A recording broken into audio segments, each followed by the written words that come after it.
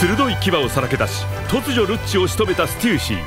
予想外のその微笑みが麦わらの一味の心をかき乱す。